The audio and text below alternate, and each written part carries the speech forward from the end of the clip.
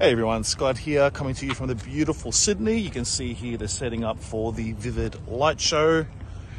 Opera House and Bridge, iconic in the background. Beautiful, sunny, wintry day. So I want to talk to you about what's going on in Perth. Perth has seen astronomical growth in house prices over the past 12 to 24 months. We've seen the average home go up from around about that 500, $550,000 mark for the average home in Perth to now about 700 to 750,000. So I've been able to put about 1,400 of my clients into Perth during that time. They've enjoyed really good gains. And I get asked the question all the time, okay, so is Perth done? Is that it for Perth?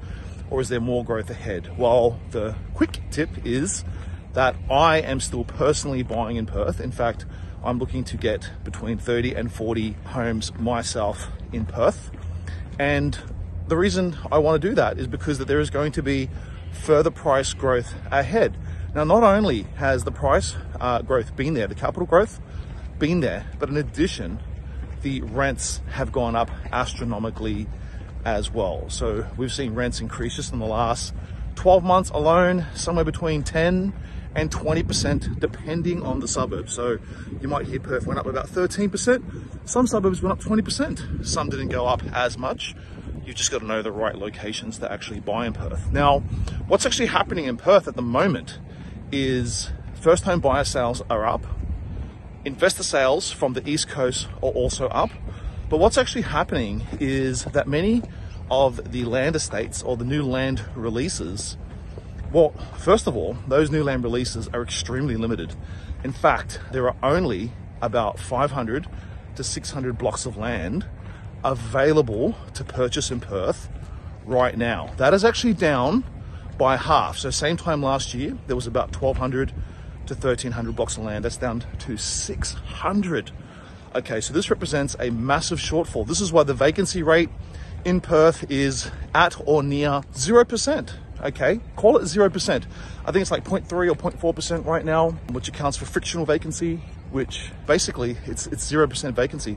That's why the rents are continuing to grow. Now, Perth is going through a boom in terms of population, and they're projected to grow at the fastest rate of population growth. And a lot of things are changing in the Australian property market. So you've seen that it was always Sydney, then Melbourne, then Brisbane Right now, the median house price in Brisbane is more than what it is in Melbourne. That will change. Um, I'm still investing in Melbourne. Long term, it will be there. But there's a bit of a shake-up going on. Now, it's likely that Perth will begin to challenge Brisbane. There's still much capital growth ahead. In fact, over the next three, four years, it wouldn't be surprising if the median house price in Perth starts to challenge that $1 million mark, okay? So there are still opportunities in Perth. The yields, the rental yields in Perth are still the best in the country. I mean, even though you may have missed 100, 200, maybe $300,000 of capital growth over the last two years, there is still more capital growth to come. So do not take Perth off of your radar. However, out of those 600 blocks of land which are left, I would say about 100, 150 of them are the prime positions that you want to be and you've got to be very careful when negotiating on those blocks because there's a lot of tricks going on because the demand is increasing. So you want to avoid the wrong areas. You want to get into those right areas. And also building brand new right now is representing much better value than existing property because the auctions and the bidding and the silent bidding and the silent auctions are going behind the scene on existing property. It's pushing the prices up.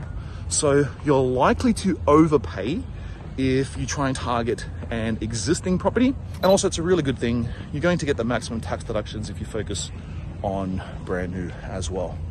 Okay guys, hope this helps. For more videos like this, please click like and subscribe for more information around the property market. Thank you.